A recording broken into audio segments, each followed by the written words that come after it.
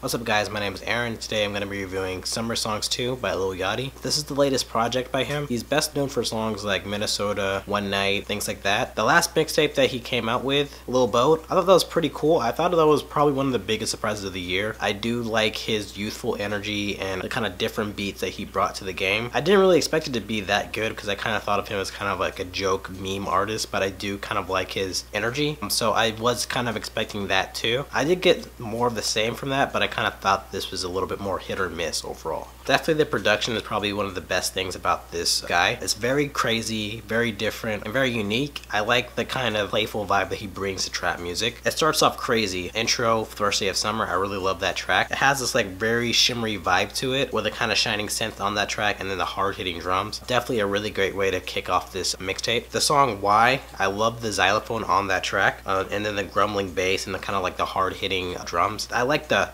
Abso Lutely tag that plays on that track. It's the production company for uh, shows like Nathan for You, check it out uh, with Steve Brule and Eric Andre show. And um, I'm a big fan of that type of like alt humor. So that was really cool to hear that tag in a hip hop song. The song Dipset, I really like that vocal sample with the kind of military vibe of that track with the drums and stuff like that. It's really weird, but I do like that that mixing together. It's very unique uh, kind of variations to the trap production that you hear nowadays. And I do like his energy too. It's definitely not for everybody, but I do enjoy it. He sounds really youthful. Like he sounds like a kid kind of playing around in his mom's basement. On the song King of Teens, I like his like kind of anthemic boast that he's uh, proclaiming on that track, kind of highlighting his iconicness for uh, a whole generation of kids. On the song Pretty, it's like a really lovelorn and kind of epic uh, track, really melancholic as he raps about like his feelings about this girl. He sounds really young on this track, like I, it's just weird hearing like a rapper that's like this young to me. And then the song Such Ease, he's talking about like how he's had kind of like a rough childhood and now he kind of lives a life with no worry, like he doesn't have to worry about money and stuff like that. I do like his youthful energy. It does separate him from other rappers, especially in the trap uh, where they're kind of, I guess, overly negative. I feel like the features really didn't do anything for me at all. They just kind of detracted from me. I think that Yachty's like perspective is pretty interesting and I feel like the features kind of took away from that. And I feel like this mixtape was pretty hit or miss too. There were some great songs on this, but there were some really bad songs. The intro, even though the beat is like really great, he's rapping off beat for like half of the track. For Hot 97, the harder beat doesn't fit for him at all. Just kind of sounds kind of glaring. And the same thing for Up Next 3. Um, he just, he's just not like um, a good fit for kind of like generic sounding trap beats. It doesn't really flow with his energy as well. It kind of sounds like he's fighting that beat to kind of stay relevant. But overall, there was some things that I did take away from it that I did enjoy. Again, I do like his kind of creative perspective to trap music, kind of like the production stuff with the kind of happy sounding elements and stuff like that. It kind of separates him from other rappers and especially his kind of innocent, youthful presence. Definitely not a lot of rappers in trap do that. I feel like the features kind of took away from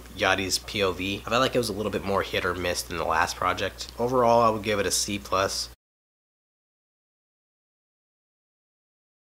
There was definitely some things that I enjoyed, but I kind of would want like a more streamlined project uh, from now on. If you're a Yachty fan, you're gonna love this. If you're not a Yachty fan, don't bother. This isn't really gonna change your mind at all. Yeah, so those are kind of my thoughts on the album, mixtape, whatever this thing is. What did you guys think? Did you like it? Did you hate it? Let me know in the comments what you thought, and thanks for watching. Thanks guys. Bye.